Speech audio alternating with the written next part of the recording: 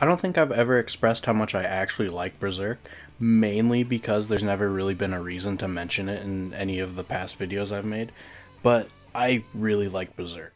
And now that it's back, I finally have a real reason to talk about it. And I'm working on some Berserk videos, but I'm just really lazy, to be honest. But for now, I just wanted to talk about my thoughts on the latest uh, chapters 365 and 366. If you haven't read the new chapters, I highly suggest you do so. With Miura's passing, there was a lot of questions whether or not the team would be able to hold up to the standard of Berserk. And I do have a few minor annoyances with the art of the new chapters, but overall, it was pretty good. It's far better than anything I could ever do, and I don't want it to sound like I have an actual problem with the art at all, but Miura's art has always been something that stood out leagues above anything else out there, and it was almost like a realization hit me that we're never going to get the same quality that it once was. It still looked great, and I think it's still well above any other manga out there, but at this point, it'll only ever be close enough. It's never going to be the exact same as it was, and reading the new chapters finally brought that reality to me. And to actually talk about the content from the chapters, both 365 and 366 were extremely short with very little dialogue, which I've noticed some people complaining about. I don't really see it that way though.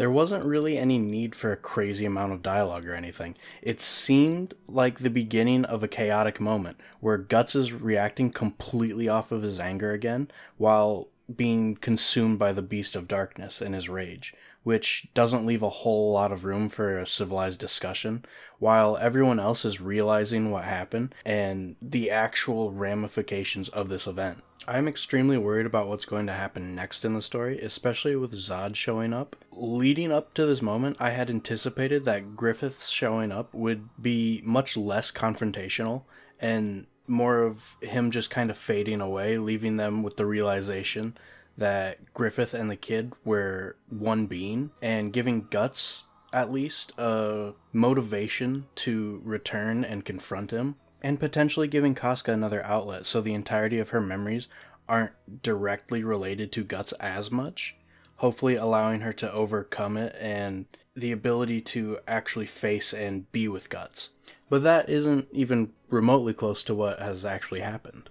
Griffith didn't disappear like he normally does, and it leaves the possibility that Elfhelm could potentially be destroyed, or at least no longer be a safe place anymore but depending on how the fight actually plays out, there's a lot of different paths it could go, but I think all of the potential paths lead back to confronting Griffith at Falconia. And I'm extremely excited to see how that plays out.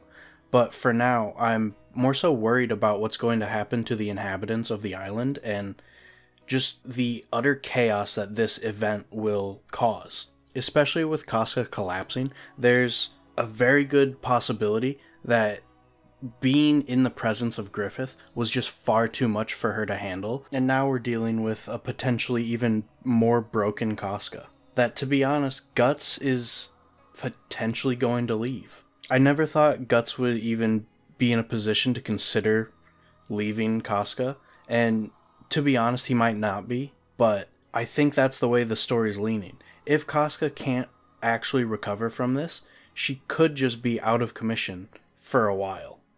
And with Guts's rage coming back in its entirety, I can definitely see Guts leaning into that rage and going off on his own again. But on the other hand, there's always the potential that this ends up forcing everybody to go back. This was one of the only safe places for them, and it's been compromised. But everything depends on how Guts and Casca recover from this moment. But for me, I think the best course of action is everybody leaving and ending up meeting up with all of their other allies, like Rickert and his group, and Luca and the uh, working ladies, and eliminating the source of their trauma. But that's a long and painful road that they're going to have to deal with. But whatever path they end up on, I'm extremely excited. I think both of the chapters, for as short and quick as they were, were excellent and I can't wait for more.